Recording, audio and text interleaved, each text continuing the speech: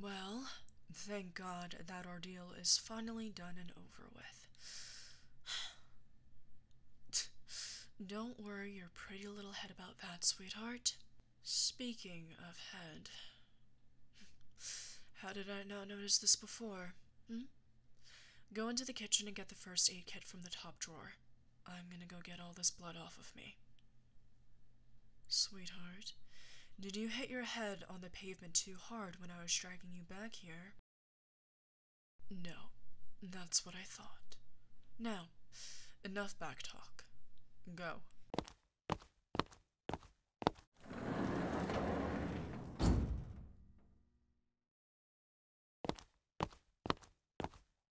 Oh, good.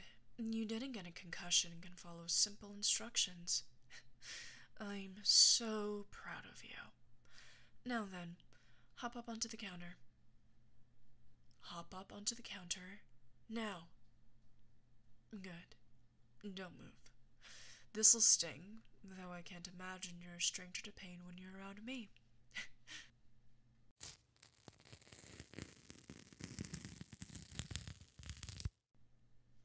Good. You did so well, sweetheart. I'm so proud of you. Now then, tell me, did you do as I said?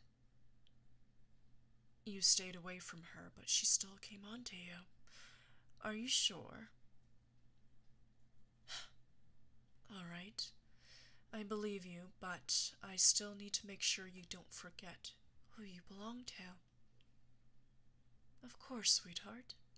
Not only will this serve as a reminder for you, this will ensure that any other vulture circling around you will sink their claws into someone else. You're mine, sweetheart, and I'll make sure you remember that. I left some clothes for you in the bathroom. Do what you have to do and get changed.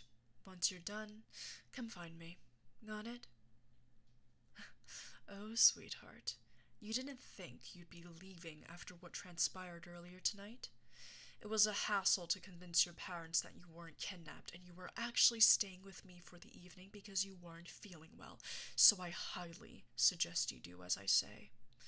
That event drained all of my energy and patience, and you and I both know how I am when I have no patience left.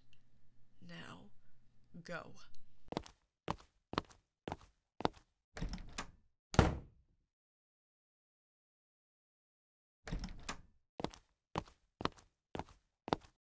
Good. That was fast. Now, go lie down. I said, go lie down. Sweetheart, I already told you. There's absolutely no way I'm letting you out of my sight after what happened earlier tonight. So, your only options are to get into bed yourself, or I'll drag you in.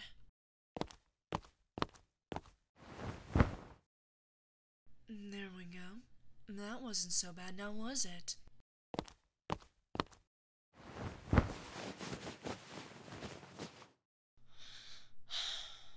Finally, back where you belong. Why so embarrassed, sweetheart? We've done this multiple times before. In fact, we've done far more embarrassing things than this before. How cute. Tell me, sweetheart, how long are you going to play up this innocent act, hmm? Need I remind you what we did just a couple of nights ago? Hmm. Or that time in the janitor's closet. You can continue to keep up the innocent act if you so wish, but we both know what you really are. I love it when you get flustered, sweetheart.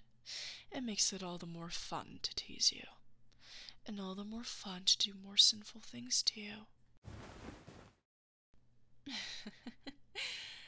Is my little pet flustered? Is that why you're trying to hide from me? you can try, pet. But no matter how much you try to hide, no matter how hard you try to hide, I will always find you.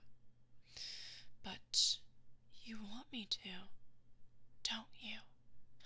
You want me to find you and make you into my little pet, right? Is that why you can barely say anything? Why you can barely look me in the eye? no, I do enjoy this reserved, demure side of you. There's another side of you that I enjoy more. Shall I show you which side that is? Hmm?